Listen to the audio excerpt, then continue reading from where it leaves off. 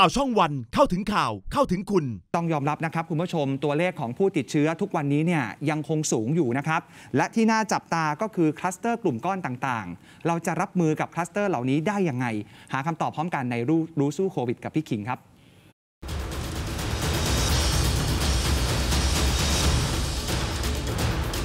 ติดตามรู้สู้โควิดกับคิงพีรวัตรนะครับ คุณผู้ชมครับ รู้ไหมครับว่าการระบาดโควิด -19 ในรอบนี้ ตัวเลขผู้ติดเชื้อส่วนใหญ่ที่เพิ่มขึ้นจำนวนมาก ๆ จะมาจากคลัสเตอร์หลัก ๆ ตามที่สรุปให้หน้าจอครับ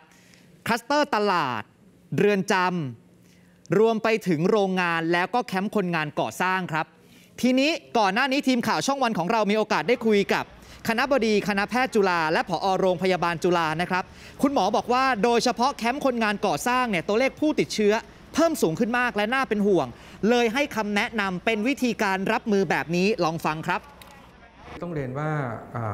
การอยู่รวมกันเยอะๆเนี่ยมันก็มีโอกาสที่จะคล้ายกับเสี่ยงที่จะมีการติดเชื้อกันได้นะครับ ตอนนี้ที่เป็นข่าวอยู่เรื่องของแคมป์คนงานเนี่ยผมคิดว่าสิ่งที่สำคัญก็คือเราต้องพยายามให้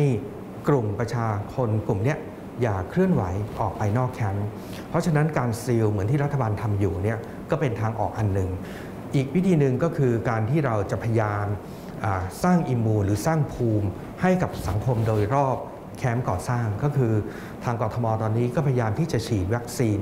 ที่ก็เป็น ring vaccination ให้กับพื้นที่รอบๆ เพื่อเป็นการติดอาวุธคนที่อยู่รอบๆ แคมป์ก่อสร้างนะครับนั้นโดยสรุปก็คือเราคงจะต้องซีลพื้นที่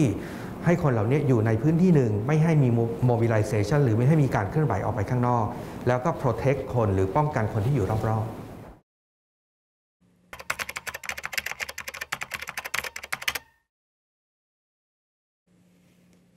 ย้ำนะครับ คุณผู้ชม นี่คือเคล็ดลับและวิธีการรับมือกับการระบาดของโควิด -19 ในรอบนี้โดยเฉพาะที่แคมป์คนงานครับ และนี่คือทั้งหมดครับ ของรู้สู้โควิดในวันนี้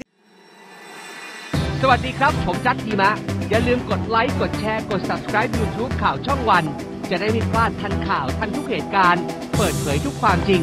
จากทีมข่าวช่องวัน เข้าถึงข่าวเข้าถึงคุณ